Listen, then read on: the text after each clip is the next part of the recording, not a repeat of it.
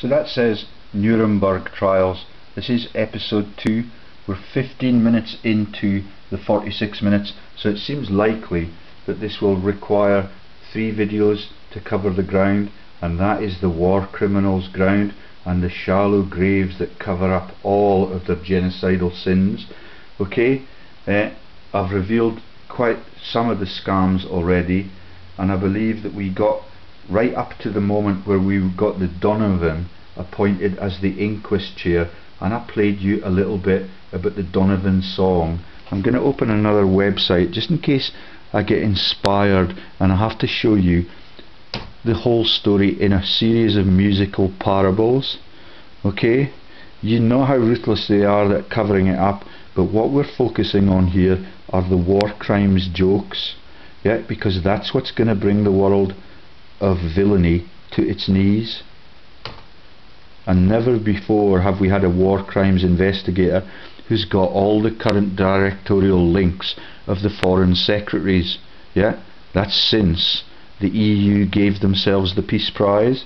Okay, let's see if we can get this rolling again. I'll put the camera over there.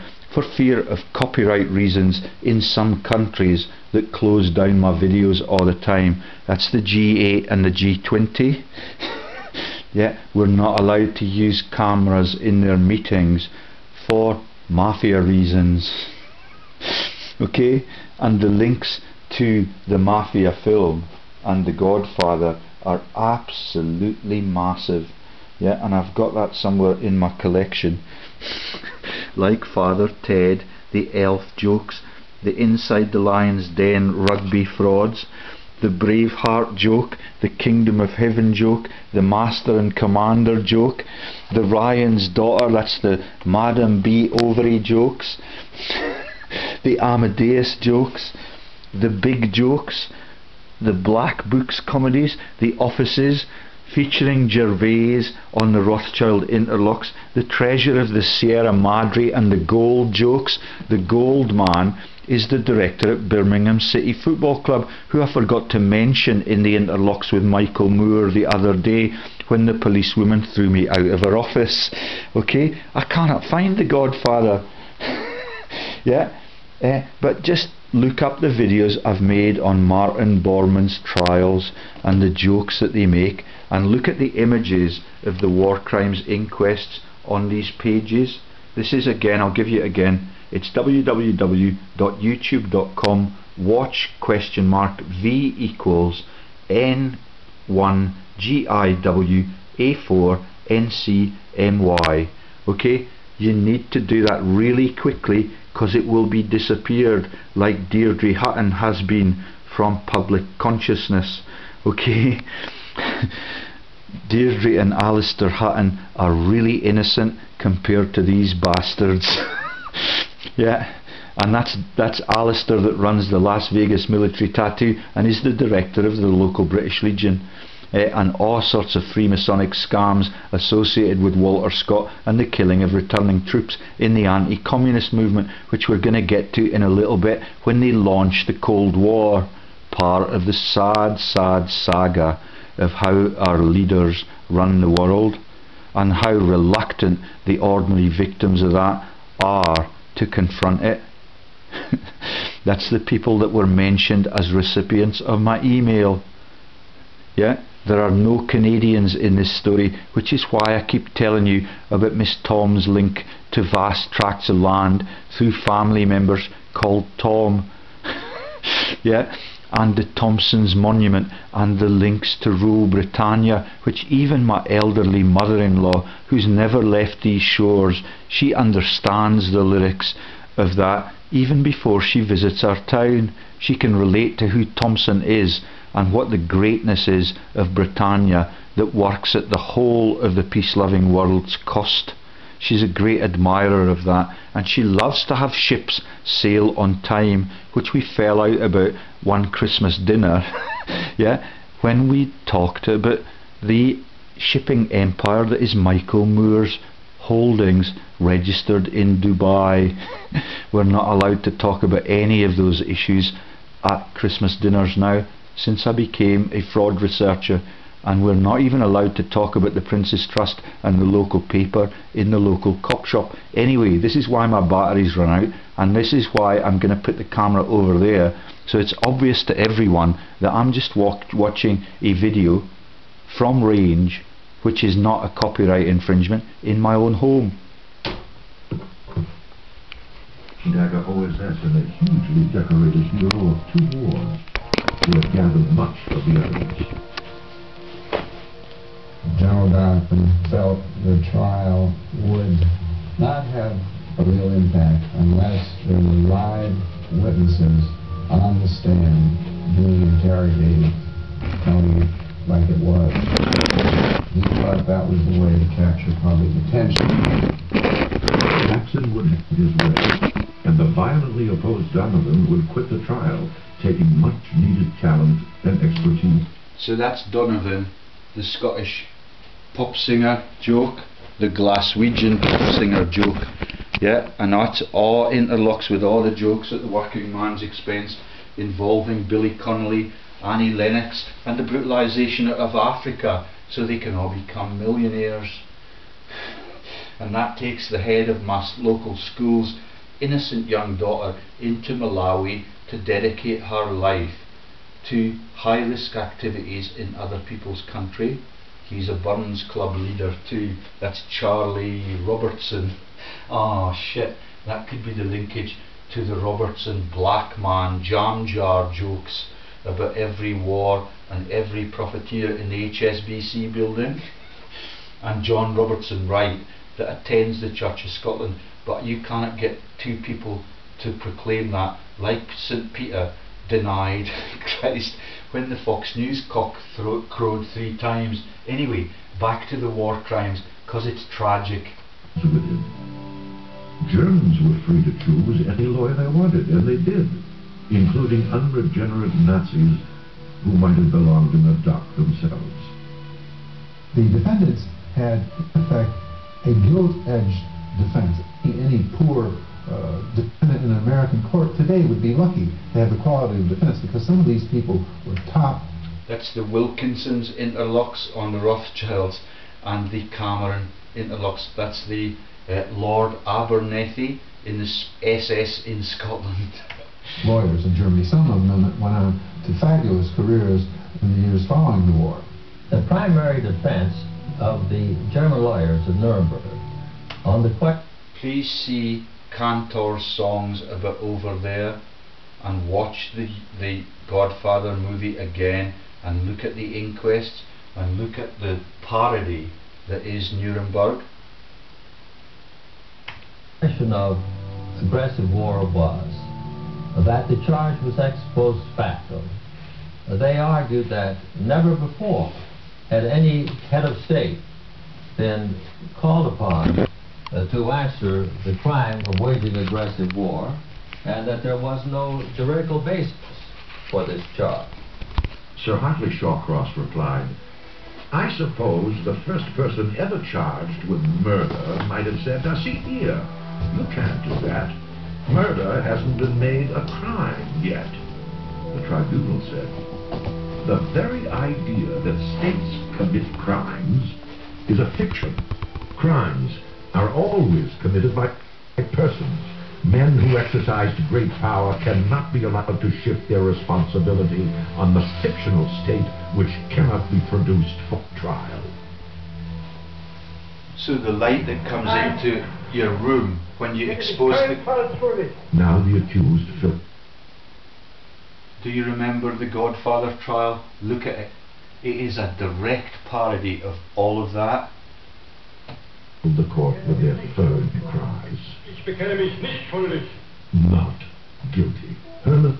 Please notice all of the military police are wearing white helmets like the police in the tax havens and the police in John Patterson's Brighton where my wife used to keep score for the Brighton uh, the Sussex County Cricket Club yeah and she bailed out of her oath to me as soon as I became a fraud researcher and she acknowledges that I always win but even with that knowledge she's prepared to desert me for the capitalist and really bloody cause that is Rule Britannia and the brutalisation of the whole of the world by the G8 countries and their subsidiaries in the G20 and the Arab funders.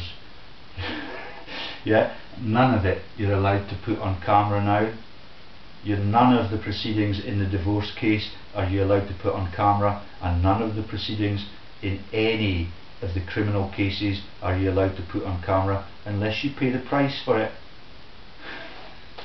right then.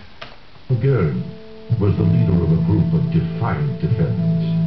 At Nuremberg, his philosophy was these people are not going to exonerate us. This is victor's vengeance. They won, so we're in the dock, and uh, we can go belly crawling, which I'm not about to do, or we can hold our standard high and we can go down with, the swastika flying. He took that attitude, and his carryover influence from his position in the Third Reich was still effective over many of these defendants. He was able to dominate them, to, uh, to frighten. So, you see the white helmets? yeah. Feuerhopp was released from the Isle of Man where they were, uh, that's the Hitler Youth man who became Tiny Rowlands and ran the Lonrho, Lonmin, kill the blacks in the pay round jokes, yeah, that all of the local people like Lord Sanderson of Bowden before I met Gordon Bowden on Skype, which is the Intel tool, yeah, all of them laugh at that joke, yeah, because all of the world wars are for profit and all of them tuck it away in the havens from Switzerland to Bermuda. And the Pirates of the Caribbean is a sick parody on the whole thing too. Them, to intimidate them, and had a good deal of leadership throughout the trial. There was a problem big enough to swamp the trial. How to make the words of the court and defendants comprehensible to one another and to the world. An American judge and an English judge speaking of. So, this is IBM technology available to convict people in 1945. They need to pay a translator in Jedburgh Sheriff Court to come and do the work. Yeah, computerized already in the days when the computer filled half of a laboratory and I was the owner of an IBM computer at Rothamsted, at, sorry, at, in Berkhamsted, near Hemel Hempstead and the Butlins HQ for fraud. yeah, right next door to our collaborators at Rothamsted who were nerve gas experts. and my old boss was Dr. Potter, but that's a complex joke about religion and the war dead that I prefer not to cover for battery preservation reasons. Of course, English, so Soviet judge speaking Russian, and a French judge speaking French. Three languages there. The defendants were German. They had to be questioned in German, in their own tongue. So French are always in the very safe intermediary position. and they can influence people with a new pair of silk stockings at any stage of the massive genocide that they adjudicate on and harbour criminals in as they party with the presidents before, during and after the actual event. And their treasures are left untouched in their beautiful city.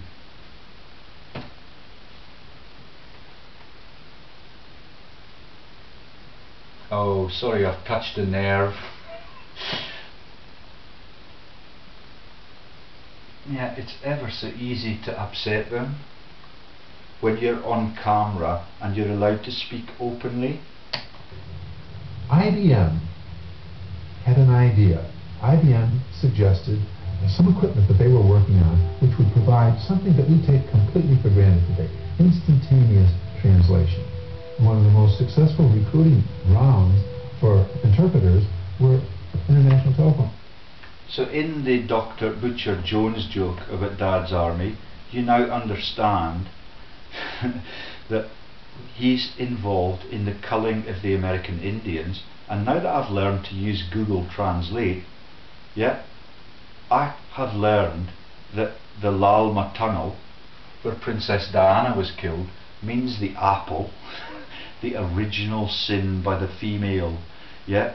And the Tonto, the American Indian, who was prepared to help the cowboys to free his country and to make it prosperous. yeah? Centuries after the central bank had been disappeared into private hands, tonto means fool in Spanish, and they think it's ever so clever to laugh at the culling of all of the pagan nations in the name of the one true God who now has become the false Messiah that is the non-existent Jesus Christ and they're ever so defensive of that concept and it costs millions and millions of lives throughout world history Jewish, Christian, Islamic and the whole show is for brutalization for cash. These people were used to working very quickly with language and had very practical knowledge. The most difficult and noble task of the prosecution was not to center the case upon the most lurid of the German atrocities and go for the patient, brilliant assembly of an airtight case built on the conspiracy. The greater goal was to convict the whole machinery of aggressive war on behalf of the humanity. I explained the treasures at Dresden and the uh, firebombing of that place led entirely by Bomber Command from Britain who received my email on who is the beneficiaries of all of these frauds yesterday. That's the Air Force places all across Britain that now are policing NATO's efforts on other people's countries. Okay, and the firebombing in Dresden is particularly vicious all of Churchill's orders are published on my website which is Prof George Lees' Revelations under the no bombing zones in Oxford, Cambridge, Heidelberg and Göttingen. All of them, like Free France in Petty France in Buckinghamshire, immune from bombing in World War II, along with the Free Polish, and the Free Polish still have directorates registered in London even in 2015 I can give you their numbers and their names if anybody is interested in that relatively criminal profit stream. Relatively innocent profit stream, I should say. This is massive. 80 million dead, none of it justified by anything, which is why I'm making the police aware of all of these crimes and responding them to by email as commanded by the ballistic blonde who threw me out of the office the other day after dozens of innocent bystanders had with understood why their pensions and their salaries and their pay freezed have been screwed by financial fraudsters in all of these sectors that are still relatives of the world leaders at the SOE, at MI6, at all of the secret double agent societies run through Oxford and Cambridge, like the apostles, like the haberdashers who provide the silk stockings to the French cowards. And the assassination bureaus in France are run by Jacques Foccart, and everybody understands that. Even Bruce Forsyth understands the genocides at the Villa Andrea in North Africa, which is why I resigned when I published them. Anyway, I'm wasting battery life.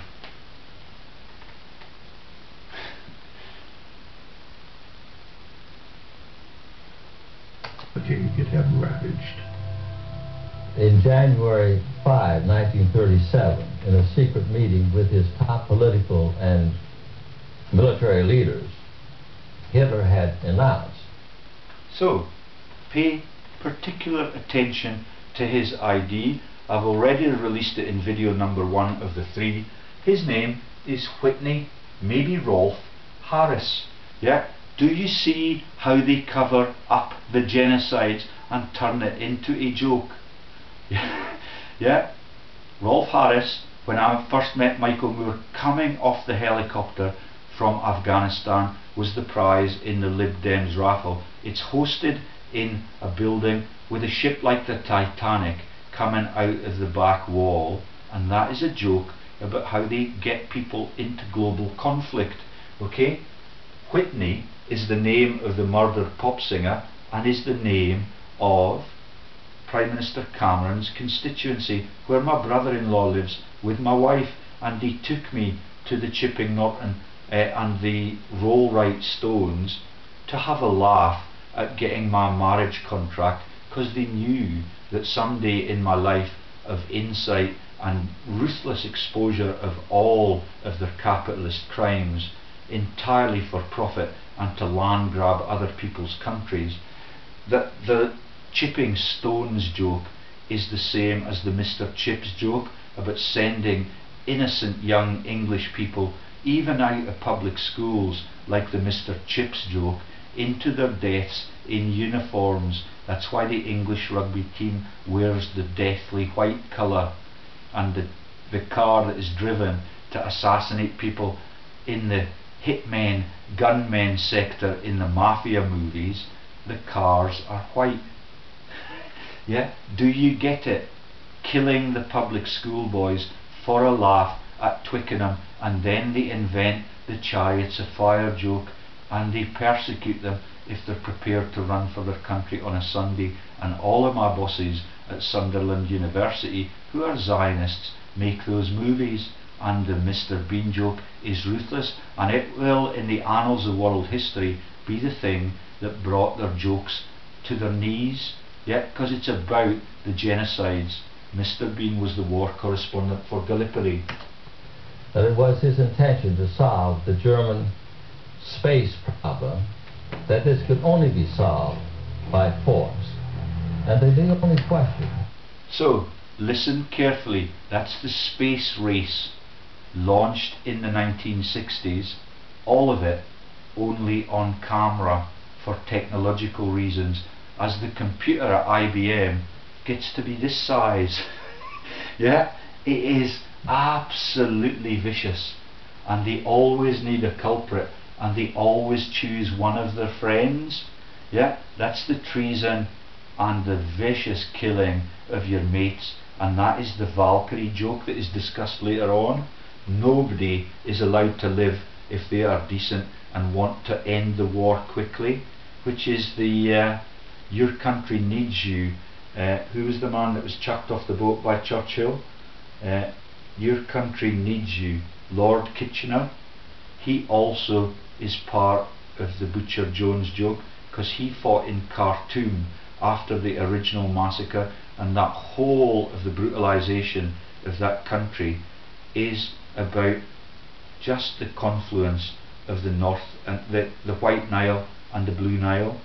That's where they come together and Nile is a massive part of the 2000 year old religious fraud. It was called the Kush, then it was called the Pishon and each time its identity is revealed they have to change the story and launch Ethiopia into the religious story. Yeah? But the killings of all of those people 6,000 miles from home in the Sudan is absolutely vicious and that's what they live for. That's what the whole story is about and the justification of that. The clouds are tempted to dampen the story and I have no surprise at that. The gods are looking at this every time it occurs and they know who the culprits are and they know that the innocents never get a mention at the war memorial every year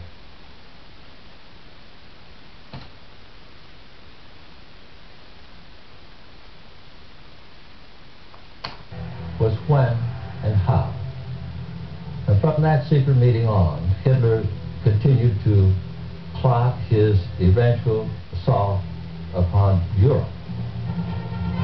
Again and again, the eyewitnesses and documents brought Hitler's own damning words. It is my unalterable decision to squash Czechoslovakia by military action in the near future. It is the job of the political leaders to bring about the militarily and politically suitable moment. The world now looked in on a chilling series of top meetings with Hitler, von Papen, Goering. Was that Lord Papen?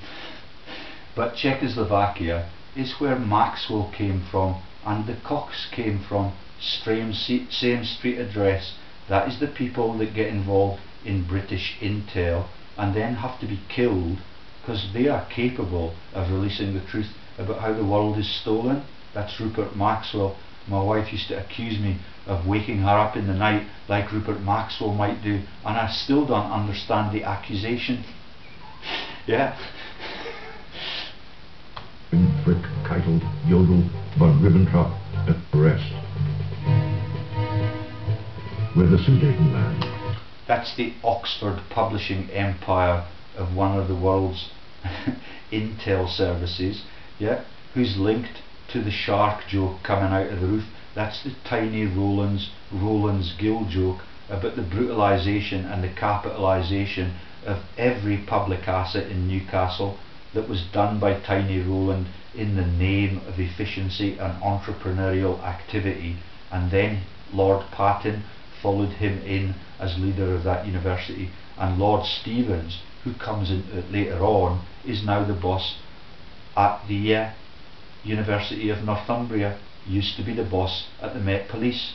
That is no surprise to anyone now. They own the whole of Britain by stealing and cheating and being capable of banging up the innocents. That's the Metropolitan Police who train at fetes like Tony Blair who resigned three days ago because all of this is coming onto his shoulders and he's incapable of standing up. Okay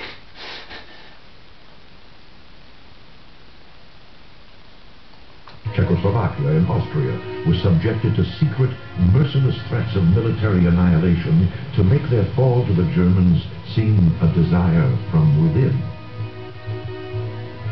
The prosecution traced back the carefully forged chain of criminal moves. Did you know that there is a Christian saint in Holland called Anila? yeah, all of it is a vicious joke. All of the jokes about the Jewish angels. Raphael becomes the RAF that is obliged to fight in this country for this cause that is the cash. right then the trumped-up evidence of the Reichstag fire to create crisis, the orchestration against perceived enemies of the Reich, trade unions, the churches. Beginning with the Nuremberg laws of 19... Did you see that with the entrance into the church sector, the Piso horses galloping along as the people flee in panic? Still used by the Metropolitan Police to this day, and still used in the Shergar jokes that take you into Irish issues which I do not want to talk about. We talk about it a lot.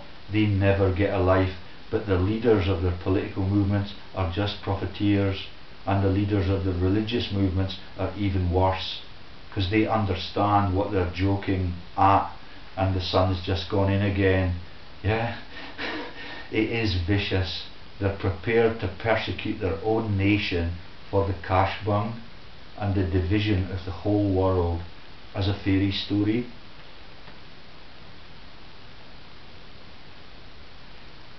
In 1935, Jackson dug into the campaign against the Jews, the legislation destroying their property and civil rights, their systematic exclusion from professional, cultural life and education, ending with vandalism, violence, and imprisonment on the way to calculated war and murder. Did you see the roasters under the fire? That's the joke about burning the bodies in Dresden and all of those towns as the Allied troops began to sweep in once the art treasures had been removed in the ambulances and in other cheap shot crimes. All of it is massive and all of it is coming out but they're not prepared to talk about it in the pubs of Scotland because the rugby is much more important and now we have a rugby player who's prepared to play for his country on Sunday. He's an Anzac and a cover up for the butchery of the Anzac troops in the Mr Bean era when Gallipoli was brutalised by Churchill for the Rothschilds and the wealth of the oil on the Russian steppes. That's what's going to bring them down. Good and that's why you're not allowed to take videos of what you say in the local law courts but that's now in the hands of the Prince's Trust and their affiliations to Scottish police who are losing their jobs to the same vicious regimes but they do not have a conscience as they throw me from their headquarters in my hometown after I've gotten dozens and dozens of si signatures to the abuses of the government against its people. Summed it up. He said, I would hate to be a Jew in Germany today. Continuing to weave the net of a conspiracy against peace at the expense of the more sensational and easy... White fezes. grasped atrocities. I have now found I have now found footage of the death of Tommy Cooper live at the Palladium in front of HRH. He's laughing at the Islamic terror threat with the red fez on his head and he has his fatal heart attack right in front of HRH. She's a recipient of all of my website details and the horrible crimes of her government and the G20 leaders. She will do nothing about it and she's smiling broadly when I write to Cameron saying I want to meet him. That's the day they dissolved the Parliament, aka yesterday. And John Patterson tells me the story about the IQ of the police, which comes into this vicious, vicious set of war crimes very, very soon. All of them are traitors, right up to HRH. Prosecutor Robert Jackson pressed doggedly through the aggressive war charges. One by one, he documented the incriminating secret maneuvers of Adolf Hitler, each aimed at naked aggression and provable by a... Tr Trained at Tavistock and at Liverpool, and Beryl Brain Bainbridge wrote a book about that that has been burnt, like the events that were depicted when the fires happened and the Boston Library being burnt the same weekend as Mrs. Thatcher was buried, sorry, the week before Mrs. Thatcher was buried, so that they could get people fearful about showing up at her funeral, funeral on the streets of London for fear of terror from Islam with the red fez like Tommy Cooper. Trail of evidence. Documents under Hitler's signature read, no question of sparing Poland we are left with the decision to attack Poland at the first suitable opportunity. He would say, I am only afraid that at the last moment some Schweinhund will make a proposal for mediation. The details that emerged were dry but unmistakable. How the men in the dock had cynically, murderously pushed an entire world toward devastation. The evidence showed that military destruction had not been enough for the Nazis. Plans in place set in motion a systematic annihilation of intelligentsia, nobility, and clergy. The Jews and Gypsies would have their own hideous attention, losing six million and five hundred thousand lives respectively. Directives were found that invited the lynch. Which is why Vinnie Jones educated at the same school as Lord Boateng, the munitions magnate and former Treasury officer, yeah, makes a movie about the gypsies being a vicious threat. And when the gypsies dump the rubbish on the riverbank of the most elite salmon pool in the whole world, that is run by my uh, elite boyfriends, eh, my my the, my best man and his working class mates, as they salute to Walter Scott's sign about killing the working man every time they return from the great conflicts. it is really, really sad. Uh, and what was I telling you there? Uh, so that's the links to the culling of returning troops in the name of the Walter Scott Foundation and all of the people that run our local councils and are running the persecution of me, including Miss Thom, the former employee of the uh, local council. Yeah, she's Canadian. The Canadians are massive war criminals. That takes you into the Beaverbrooks. None of them are mentioned in this story. and the only people, person that gets executed in Britain is Lord Haw Haw, which is the uh, the Joyce story and all of the Falkirk false news to cover up everything that happened in 1945 and how the innocents get executed and the tyrants get released. And all of the names that come into this story are spookily similar to all of the names that Greg Hallett released when he was exposing the illegitimacy of our monarchy, who announced the event uh, for the second time with regrets and a horrible stammer that is actually an act of God and reflects the fact that the man has only an IQ of 70, which is why they need to get the IQ into the cover-ups in 1945. Of Allied airmen without interference from the police. Other decrees ordered Labor Czar Fritz Sauckel to deliver five million captive workers into slavery that was often a death sentence. A Nacht und Nebel, or night and fog order, had the promotion of pure terror at its roots people disappeared forever without charge or trial.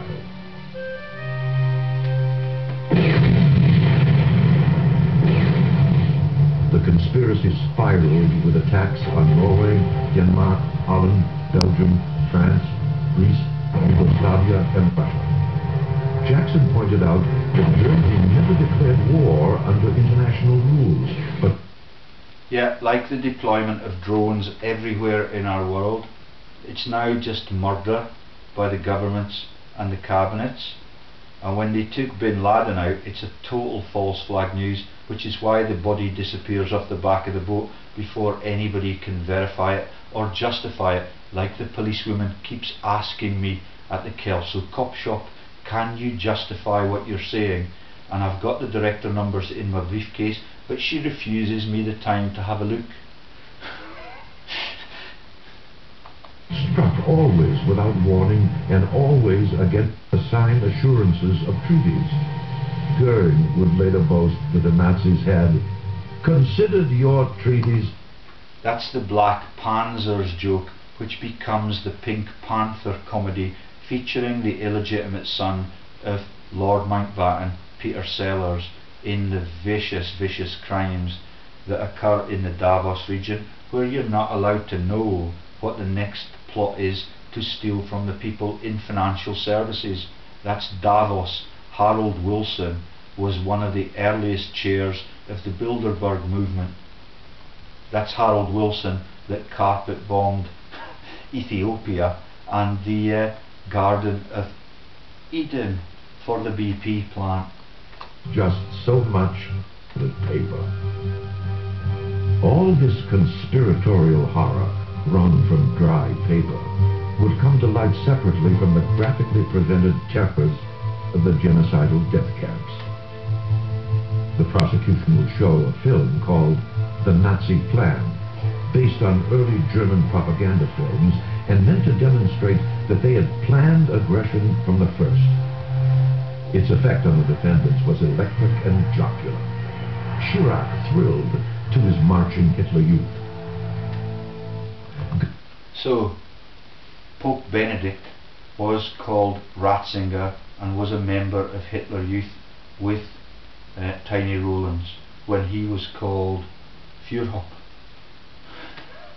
Then they release him in 1942 into South Africa where the diamond and the gold wealth was but no longer is. Goering gleefully shouted the name of each plane and pilot he recognized he whispered. Even Justice Jackson will want to join the party now. And the Jackson joke about Andrew Jackson coming into the Marx Brothers song about the whole of the world and the whole of the jokes that they make, including the sanity clause joke, the sanity clause religious thing about Jesus never existing is their greatest ever triumph. It runs for 2,000 years and everybody is a victim and none of the pagans are left alive unless they're aboriginal and if they are they've got an alcoholism problem and all of the presidents in Australia are fascists even although many of them trade under the Labour title like Harold Wilson and Tony Blair who resigned three days ago. Schacht, watching his war production glorified, asked, Can you see anything wrong with that? An odd von Ribbentrop breathed. Couldn't you just feel the force of the Fuhrer's personality? The mood of the defendants changed sharply when the film turned to the cruel and humiliating kangaroo court trial of those accused in the bomb plot against Hitler.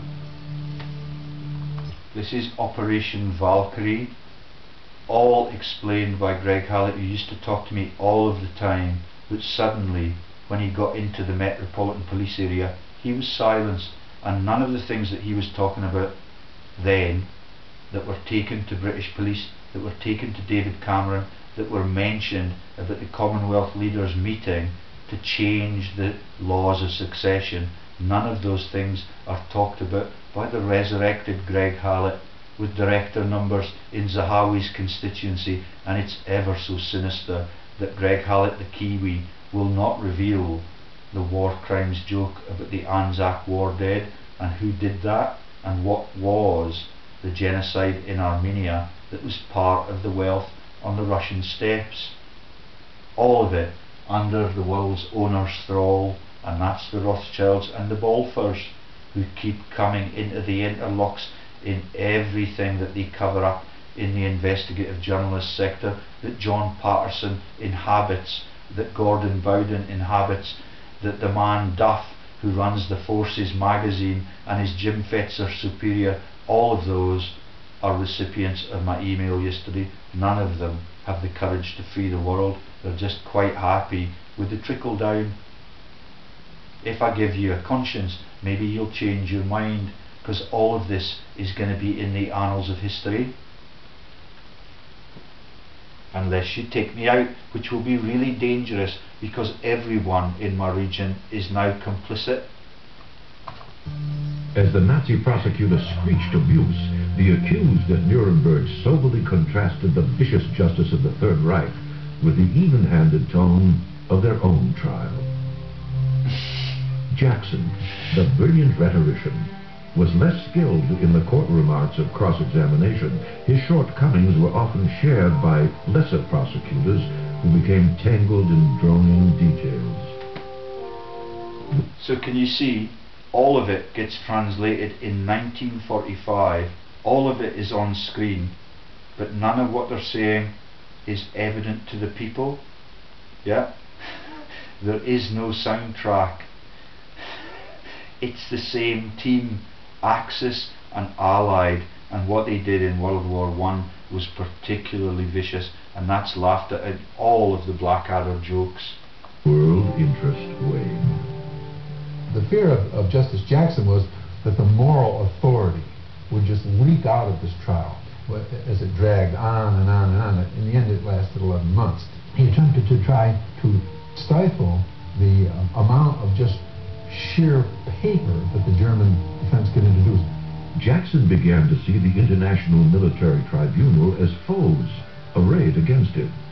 Especially vexing were his fellow American Francis Biddle and the Englishman, Sir Geoffrey Lawrence. Lawrence wanted to rob the defendants of any. Uh, you might understand the significance of the Lawrence name.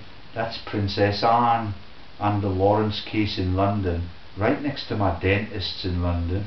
She was a lovely person. I would give her my truth any time, but I cannot get anybody to explain the word truth to me. yeah, I'm on bigger issues now, but my dentist was right across the road from where Stephen Lawrence was stabbed to death, and that is just a cover for the fact that the people that I lodged with in Woolwich were worked at the central bank under Eddie George. Yeah?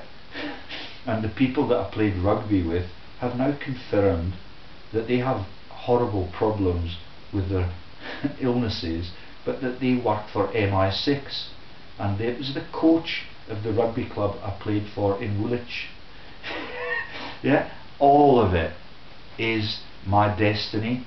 And when I went to Woolwich and I went to the Admiralty buildings and you see what the Admiralty has done in the name of Rule Britannia, which my wife and our mother are staunch supporters of. I am not surprised by anything that I hear in the world anymore, and I have no friends, and I do not miss the ones that have deserted me. That's almost all of them. My dad is innocent. My dad has fought for his country but my dad reads the Southern Reporter and tries to punch me when I get convicted, when I'm not allowed to plead guilty by Sheriff Drummond, who's fucked off because he condones the killing of returning troops and the Silver Arrows Project and the total law enforcement scandal that is the lawyer legal companies in Scotland and all across England who steal from their people and use all of the laundering tools that are much more sophisticated than we had in World War II now that the computer is used for other purposes. they fear my computers, which is why they are frequently crashed. Capacity to claim that we're given a, a complete defense. Goering has just testified uh, on his own behalf, and then he's being cross-examined by Justice Jackson. This is dramatic high point, and everyone is waiting to see how the champion of justice and democracy deals with the, the champion of Nazi evil. I want to get what's necessary to run the kind of a system that you set up in Germany. Goering has a leg up in this thing because Justice Lawrence keeps ruling that Goering must be allowed to say as much as he wants to say. The usual. So that's Princess Anne Lawrence on the board of the Olympic commissioning bodies, on the board of the Football World Cup, and in the Irish profiteering sector through Martin Sorrell's sweaty invest in involvement. Yeah, that takes you into all of the videos we've made about the Cahills, the Irish jokes, about Cahill being the cavalry joke, and about the American cavalry being also the cavalry joke. The brutalisation of Ireland for decades and all of the romantic songs sung by the New York Police Department about divorce proceedings and the Pogues, all of the cover-ups are ultra expensive and the New World Order bands that have launched, been launched into the public eye since I became a fraud researcher, it must cost them millions or even billions of pounds a year just to cover it up in popular culture with the songs. And the ancient songs that are in the operas are really vicious. That's the foot of the willow joke that is too vicious to include in the Lord of the Rings story. Yeah, and the kissing of the feet and all of that takes you into the papacy and the behaviours of the fictitious Jesus Christ and the sun has gone in again. Rules of cross-examination that the prosecutor is able to, to crowd the witness, to keep pushing him with relentless questions towards a trap and then spring the trap. But when Goering could virtually deliver lectures on the political science of Nazi Germany, Jackson was never able to crowd him like that. Goering's two and a half day diatribe turned the court into a Nazi rally and made him the defendant's hero, like an athlete who had saved the game. Had Jackson made a mistake in not going directly after the most hideous and hateful of the crimes and criminals? Would his great hope for convictions on a cosmic scale allow the main case against war to slip away into its own night and fog. When I go to the court with a poster of explicit images hanging round my neck, they are completely ignored. When I try to tell them what is on the poster with my son in the audience, they tell me to shut the fuck up. And when I tell them that I want to plead not guilty on my assault charge, as I was advised to do by Dos Rao, they tell me that they are going to stop the court proceedings, they're going to ask me to leave the room as they discuss amongst themselves what they're going to do about that, and then they tell me that I must plead guilty. So I can never run for MP in this region, which is why my dad tried to chin me, because he read the Southern Reporter, yeah, and he thinks that I'm a vicious woman beater, yeah, the links to the ambulance sector have all been revealed and all of the people that deserted me include my best man but I'm not allowed to talk about the details of the case and my best man would not even uh, relay my apology he got hit by lightning twice when I was in New Zealand and his name is Brown like the people in the movie and Gordon the traitor to his country who lives in Fife which is in the story elsewhere. Between the enormous scope of Robert Jackson's indictment, American technical miscues in prosecution and the surprising fairness of the proceedings, the Nuremberg defendants began to believe that they might yet prevail. But now the tide turned with the shocking testimony of the Nazi butchers who had run the concentration camps and extermination squads. Their testimony jolted the world back to attention. Almost offhandedly, Gestapo officer Otto Ohlendorf made his admissions. How many men, women, and children did you kill during that year? I want you to grasp the magnitude of how many tiers of cover-up there are. Yeah? So Whitney Houston, the Prime Minister's constituency, the residence of my brother-in-law who's funding my divorce case when it starts, all of them are in the Chipping Norton set. My brother-in-law's most inspiring character in the whole of his life before I got on to what they do with the Prime Minister in Chipping Norton and Jeremy Clarkson as the other diversion for their massive crimes in financial services and in the world's banking system. Yeah, all of it is a cover for all of this. This is huge. This is genocide, the killing of 80 million people in a premeditated campaign for cash. I don't know what the R stands for, but the Harris is my employer from Hemel Hempstead, where my wife and our brother in the Chipping Norton set comes from. Yeah, and all of that, everybody that works in Hemel Hempstead, where I, when I used to work with them, they're now in financial services fraud. I can name some names for you as arbitrary examples. Colin Shirley, yeah, the uh, person that was in our birthing chamber uh, that got his son as an infant got hit by a cricket ball. yeah, he used to play rugby with me at Aylesbury, and almost every one of the Aylesbury directors is involved in the Rothschilds interlocks. Uh, the little handbook for that was in this room, but I've tidied it up because I'm onto bigger issues already. Yeah, the name of the family that got hit was Criddle. If you look up Criddle on Company Check, you'll find that they have got dozens of hits. And if you look up the name Pritchard, you will find that the Pritchards are a massive financial empire. Ken Pritchard had dealings in South Africa, and his bro- sorry, his brother was in South Africa. His sister-in-law is Heather, and she interlocks with U- with UKGov.plc in the Reading University mafias that run their laundering activities. As a neuroscience declaration, there are no neuroscientists in that company. They are just a laundering tool. And right at the top of their food chain, you have Princess Anne Lawrence. Yeah? And Ken Pritchard, a friend of mine who attended my wedding, present, pretended that he ran a franchise sandwich shop and he was scammed out of that and had to become a gardener late in life like Hitler. And his daughter Emily like the woman in the Go East Young Man Out of Folkestone joke which is the David Copperfield film yeah little Emily who got approached by the really ambitious and entrepreneurial public schoolboy called Steerforth. Yeah, she lost her hymen to the capitalist cause, and all of it is just a joke. Yeah, Ken's companies were never crashed.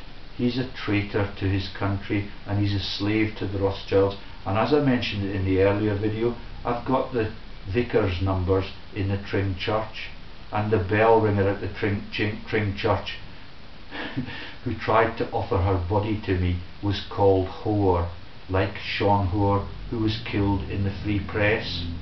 Yeah, that's Rupert Murdoch killing Sean Hoare to make sure that none of the news is truthful ever since. That was around the same time as the Leveson inquiry remunerated all of the culprits in all of the more modern story that is the asset stripping of Great Britain in inverted commas. We have nothing left in the Treasury. They openly declare that. The Bank of England issues only the money, the money to the elite friends of the toxic debt pools. who are immune from prosecution as the local tenants get banged up by the social landlords who are not allowed to be identified, which is why Deirdre Hutton has disappeared from the public records. Anyway, back to the more serious war crimes, but the motives and the perpetrators are all entirely in pinstripe suits. And he answered, 90,000. With that information, we were able to... And the name Rothschild never comes into the story ever since the original Greg Hallett disappeared. Fellow, that contemporaneously with the German assault against Russia, four special action groups of the Gestapo and SD were sent into the occupied territories behind the German armies with, with a specific purpose of rounding up and killing all Jews and gypsies, intelligentsia that they could get their hands on. The estimate is that two million people were killed by these special action groups. Ferdinand, So do you get the link between intelligence, double agencies and treason? Read Greg Hallett's stories on Operation Winnie the Pooh and all of the scandals about the double agents, many of whom are named in the story. And when they tell you who gets released scot-free, all of those names are in the list.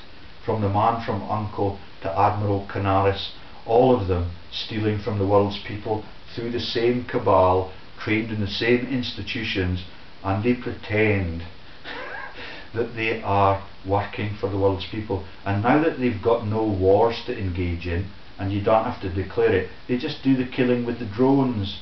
And they are marketed by Detweiler MacDonald. Detweiler is the man who leads the Von Trapp family singers into their career in the operatic sector. and all of it is really, really funny. And thank you to the Brookses in my hometown for still being my friends and talking openly to me. That's the Brookses where the son is registered on the BNP. And you heard his statement about fascism disappearing off the face of the earth. yeah, the labels are irrelevant. The political parties are irrelevant. The religion is irrelevant. If you're at the top of the elite food chain, you steal from everybody else and you kill them at every opportunity so that you can have the big land grabs and the whole of the countries to yourself. and then you create the museum with the art treasures in it. This was the commandant of Auschwitz. Höss explained his mission in great detail and without any great emotion. He had been called to Berlin by Heinrich Himmler, and Himmler had explained to him that there was a secondary war involving the struggle between the Germans and the Jews. That if Germany did not deal with the Jews at this time, the Jews would certainly. You may have noticed, sorry, in the earlier video, the Rothschilds were called the Bears, yeah, in Eastern Europe. But you may have noticed that they opted, when the pagans were culled, very early in European history, that they would become Jews because the Christianity joke was quite old by then and they wanted to have a way of being free from persecution yeah for anti-Semitic reasons and that has been warmly endorsed since the Bushes became Lubavitchers and all of the workforce in the White House became Jewish and the other children of George W. Bush helped to convert the Christian text and the Talmud and they work in the city of Rome. Germany. And it was Höss's mission to establish at Auschwitz an extermination center. So this is likely to be the launch of Randolph Hearst in America and the massive castles that he has that look like slushes, which is the the joke about candy slush and the abdicated king who marries Mrs. Simpson after her divorce proceedings are completed in the candy slush in Austria and Hitler's people come to their wedding. Isn't that romantic? And they get to live in free France for the rest of their lives and she gets buried in Frogmore which is the joke about the decent prince coming along after she keeps kissing the frog which is the French romantic tale again and she's suited up with all of the corsets and suspender belts that the bunny girls get for a laugh because that's the Winnie the Pooh joke. It's the most devastating confession of murder by any individual in the history of mankind. The prosecution introduced a film called Nazi Concentration Camps, a compilation of death camp horrors which was assembled by America's noted film director George Stevens. So, that's the name that started to get the woman in the cop shop really nervous. Lord Stevens of Kirkwhelpington, former head of the Metropolitan Police, lives in the Alnwick region, like my Facebook friend David Veitch, who's involved in the paedophilia sector with the local police, like our friends in Hexham.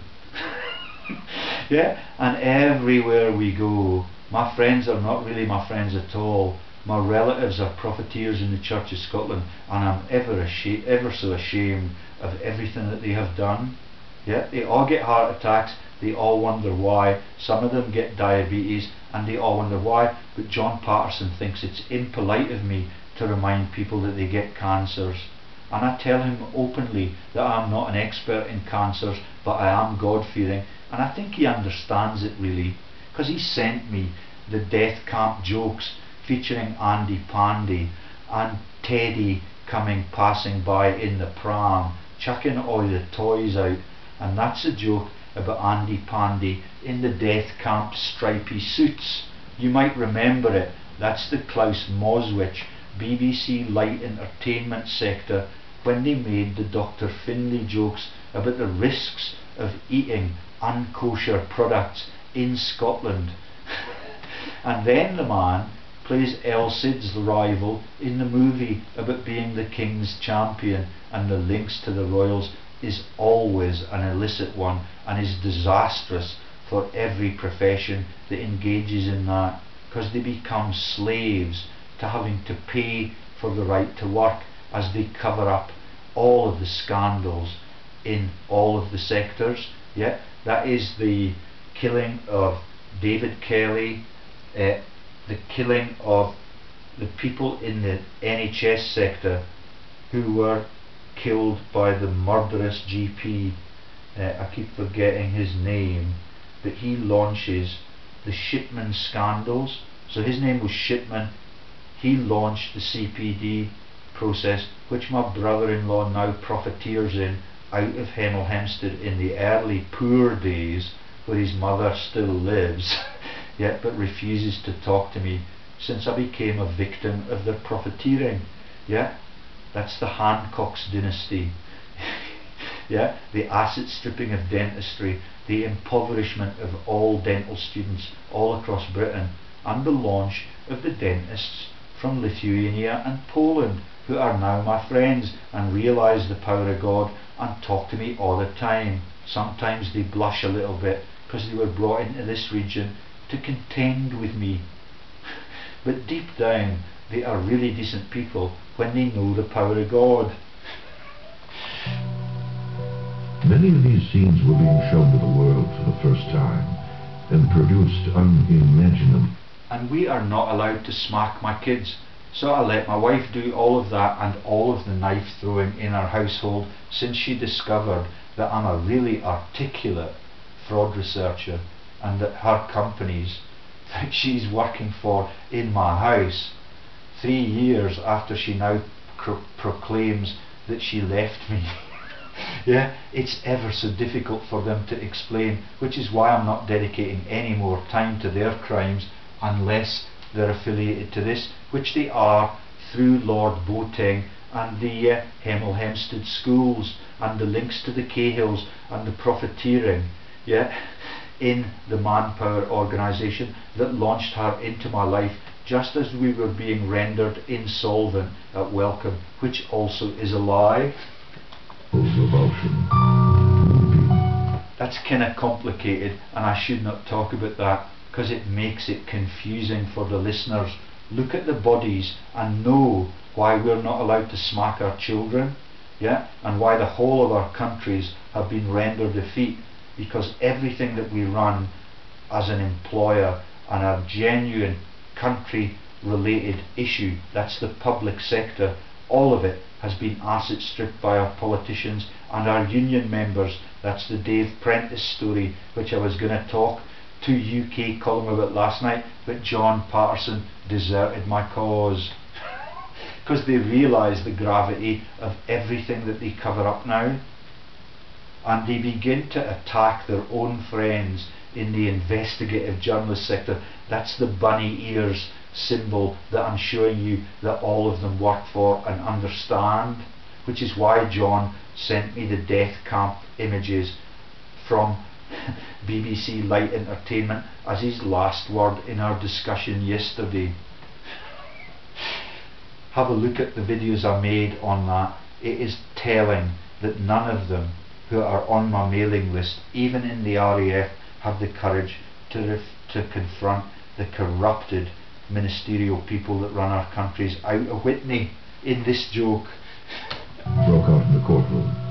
Women fainted and time after time the words of the leaders and followers who had caused it all arose from written records to condemn them. Himmler had summed up the ethic. I did not feel justified in exterminating the men while allowing their children to grow up to avenge themselves. General Jodl said, if we had disobeyed, we would have... Have you ever wondered why we, on November the 5th, have a bonfire to celebrate the overthrow of the revolution against our parliament members. Been arrested, and rightly so.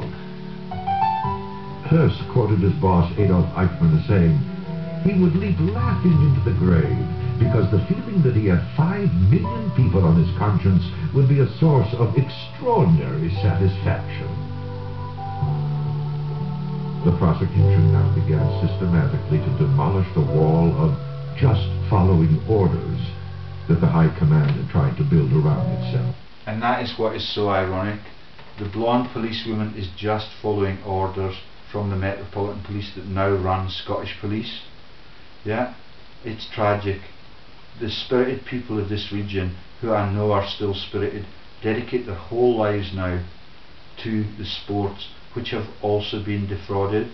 And when they were amateur Scotland was capable of greatness and competing for world acknowledgement. But now we are just backed into the corner. We cannot even own our own slaughterhouses. Yeah, that comes up in Jedburgh Sheriff Court because they know that it comes into a lot of the videos that I make uh, and it is totally twisted. Yeah? Everything they do everything that Prince Philip has done to our country is to asset strip its sovereignty and its capability so that if we enter into World War III we starve to death within a fortnight because all of the butcher meat now comes from New Zealand. And a lot of the uh, Christmas stuff comes from Latin America which is totally owned by North America and all of that is the Chavez joke about the taking over of other people's central banks and the socialists that are revolutionaries in those countries are just highly paid capitalists, like Red Ken in London. Prosecutor Telford Taylor would say that men who commit crimes cannot plead as a defense that they committed them in uniform and that military... Uh, and Shirley Taylor becomes a celebrity on the yellow brick road, I think. But I'm very short of my memory bank and I get a little bit confused. She's one of the actresses that is launched to laugh at the whole story and the profiteering outcomes of it. Men are not a race apart. And when I learn that, or I even watch the movies, the tailors that are related to my Auntie Mary with the links to Canada which my dad is on my side on. Because when the Canadians came here just after the war was finished, they got all their health care for free and they got free lodgings with all of the victims that were prepared to fight for our country as Beaverbrook deserted it. yeah, and became the head of propaganda and the air munitions industry. It is really, really ruthless, and that's why I'm hitting on Miss Thom and the Canadian connections in the central bank, because it is really, really ruthless and it afflicts only the innocents of our world.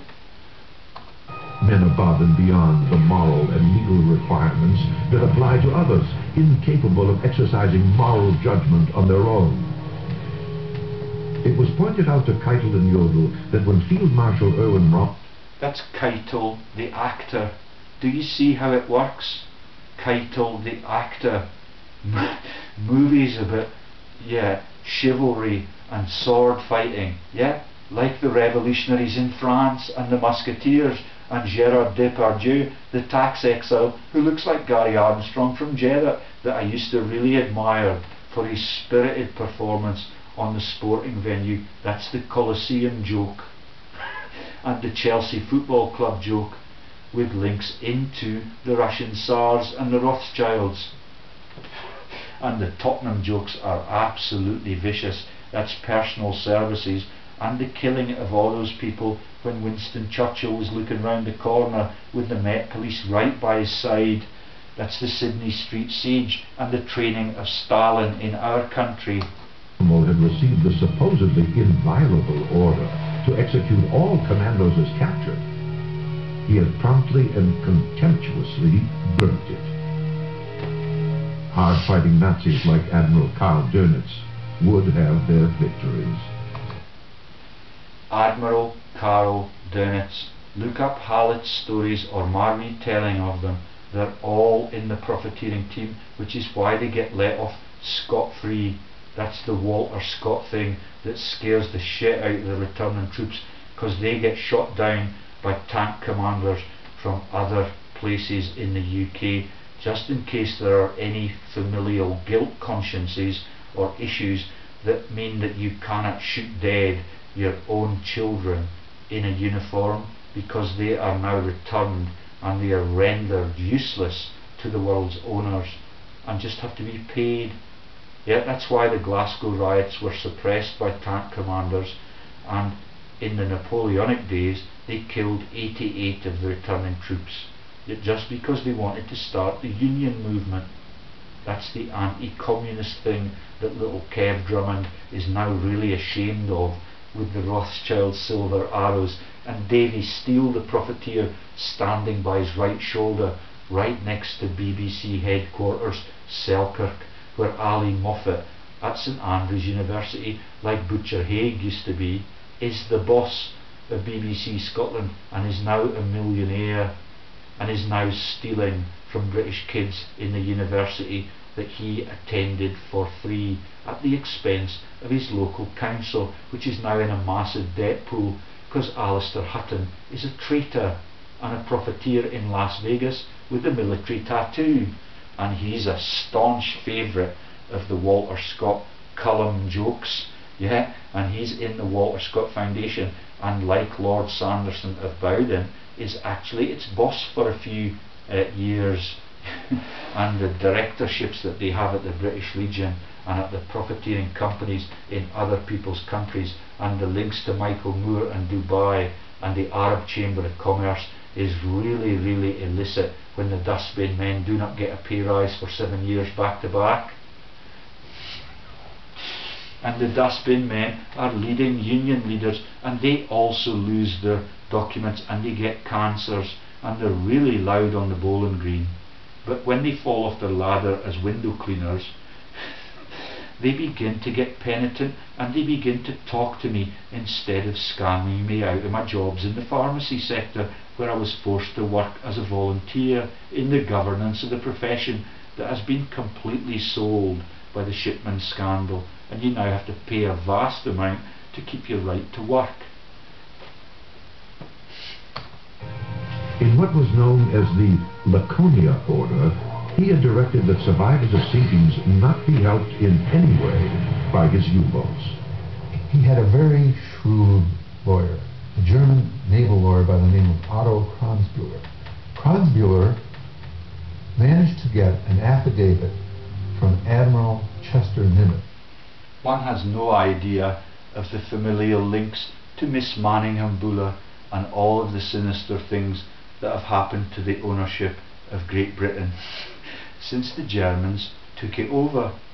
Yeah, that's the Saxe-Coburgs who kill King Carlos I in Portugal so that they can extend their power base in Portuguese colonies all over Africa. That's the murdering and the launch of Carlos the Jackal into the false news sector. Hero of America in the Pacific War to the effect that the Americans had fought no differently. That in the, in the Pacific we had sunk what was there that we presumed the enemy vessel made no attempt to try to rescue. Yeah, so no questions asked, get the numbers down regardless of the implications, which is why none of the ships returned from Crimea. Yet they were sunk in the harbour as a joke at the dead troops from Russia, from France, and from Great Britain in inverted commas, just like Khartoum, the Butcher Jones joke. Japanese sailors off of an air carrier that was going down. The tactic would save Dönitz' life. The other allies were startled at how being... So Dönitz is a profiteer like Uncle Desmond Morton, like the Fleming family and all of those villainous names. Uh, and I believe that Winnie the Pooh was actually the king with the stammer, but I might be wrong about that because my memory's slightly frail. And the River Spree story in that becomes the uh, the it's a play on words. So the River Spree is where Hitler and his friends were laundered out with I think Bormann uh, and what you've got with the use of the word spree is the launch of one of the people at the inquest is just an anagram of the word spree. Spear. Isn't that clever? And the Spears jokes take you, takes you into the record production, producing sector and His Majesty's voice and the little dog with the pro propaganda trumpet sat next to him. His Majesty's voice. Do you get it? Yeah? This is the German monarchs that came to our country, changed their name, and then Barbara Windsor becomes their cover up, and they get the badger culls through her husband's protests to divert the people from the sins that they commit in financial services and in Geneva. the Russians demanded the death penalty for the now half-mad Hess. What was Rudolf Hess doing in that dock? During the, the war, when uh, people were... This is the Lady Hamilton, Lord Nelson joke again. The Hamiltons in central Scotland are relatives of the Hesses. And it's so complicated and all the cover-ups involve the jailing of the body double and the total liberation of Rudolf Hess for the whole of World War II since he made that trip to Scotland. And the legend that was that Churchill had him killed, that's only the body double. Nobody knows what happened to the authentic one. Were being exterminated en masse in the uh, concentration camps when hostages were being uh, but everybody knows where the Flemings are and they are still world heroes despite everything I've told you and despite the massive health crisis in the local Flemings, yet even in the curling sector where I discovered the people that believe that, that, that were our solicitors when we first came to their town, they're Irish. yeah, and they take me out for coffee, but I have to pay for the coffee. Yeah, uh, and they tell me that the financial crash of 2008 was an accident or just a cock up and then they retire really quickly because when I discover that the people that work for Tate's are now called Lees like the man who's the boss at the Bank of England since I became a fraud investigator he's also been forced to resign. Yeah and all of it is a massive scandal. Uh, and his links to the ice rink take me back to world heroes who are the Flemings and get free trips in the sporting sector to New Zealand in the curling sector and their interlocks take me into Julian Lamont, who John Lamont has denied ownership of, but I'm not sure that I believe him since I learned about their links to Otago University and the professoriate and the current head, Kurt Kraus, which is part of the Paris, Texas joke. Done away with in batches of a thousand at a, at a time. Rudolf Hess was sitting in a cell in, in England as a result of